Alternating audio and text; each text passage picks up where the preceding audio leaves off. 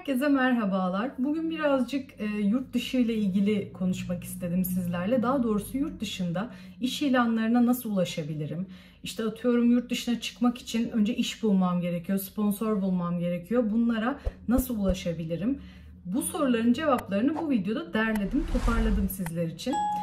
Gönlünüzden geçtiği gibi bir hayat yaşamanızı diliyorum. Şu aşamada biliyorum ki herkes bir şekilde yurt dışına çıkmanın yollarını arıyor. Ben uzun zamandır yurt dışında İngiltere'de yaşayan bir İngilizce öğretmeniyim ve hala kendi mesleğimi yapıyorum burada bu arada. Ama ben iş kurarak geldim.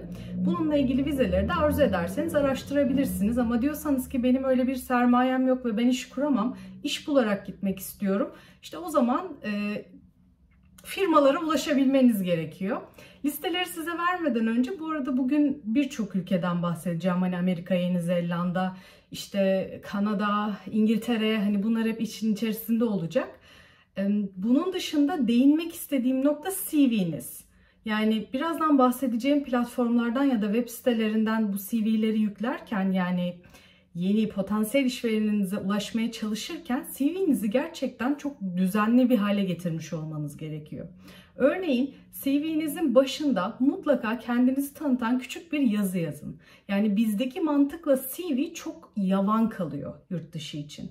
Size önerim kendinizi tanıtan hani sevdiğiniz şeyleri, işte atıyorum ilgi alanlarınızı, hobilerinizi de işin içerisine alan deneyimleriniz dışında hani sadece iş deneyimi değil de normal hayatı nasıl yaşadığınızı ve neden taşınmak hani sizin için daha iyi bir seçenek bunları anlatan küçük bir cover letter yazsanız aslında çok şık olur. Ülkelerin CV kriterlerine mutlaka bakın.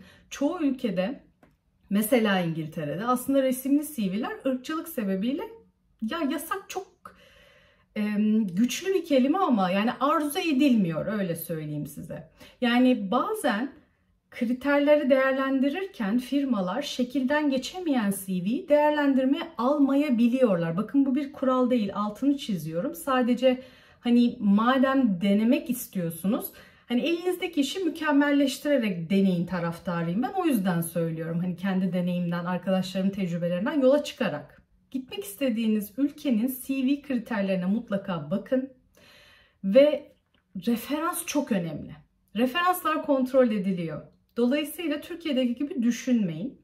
Burada verdiğiniz kişi aranabilir ya da büyük çoğunlukla mail atılabilir. Çünkü uluslararası aramaları çok tercih etmiyor firmalar. Ama mail yoluyla bir assessment ya da işte atıyorum bir şeyler gönderip ya da yazıyı o şekilde isteyebiliyorlar. Bu tarz durumlar için ne yapabilirsiniz? Referansınızın işte CV hani normal referans kısmı var ya isim soy isim işte çalıştığı yer, title'ı işte iletişim bilgileri. Bunun dışında belki de referans mektubunu içeri koyabilir. Ya da istenmesi halinde göndereceğiniz hani hazır bulundurup göndereceğinizi söyleyebilirsiniz.